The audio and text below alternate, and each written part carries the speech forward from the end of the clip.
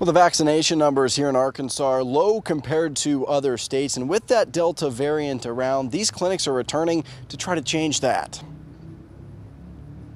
The city of Rogers is teaming up with Community Clinic to offer six vaccine clinics in the next two weeks, including one today.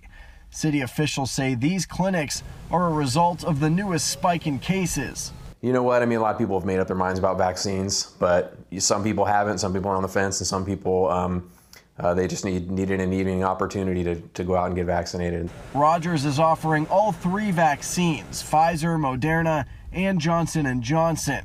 As a more rural hospital, Ozark Community Hospital in Gravette is facing challenges on the vaccine front and the COVID front as cases and hospitalizations rise.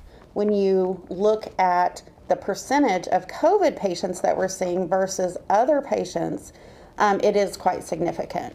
Despite hosting clinics yesterday and today, the hospital has dozens of doses that need to be used by Saturday. We would be willing to, you know, try to set up something for us to go out uh, to a local business here um, in Gravette and get as many of their employees vaccinated as possible. Plus, the city of Rogers is offering transportation to clinics if anyone needs it. And looking at all the numbers and things, uh, it was it was time for us to do what we could. Whatever it's going to take to get um, our community vaccinated, we're willing to step up and um, go, you know, go that extra effort, that extra mile.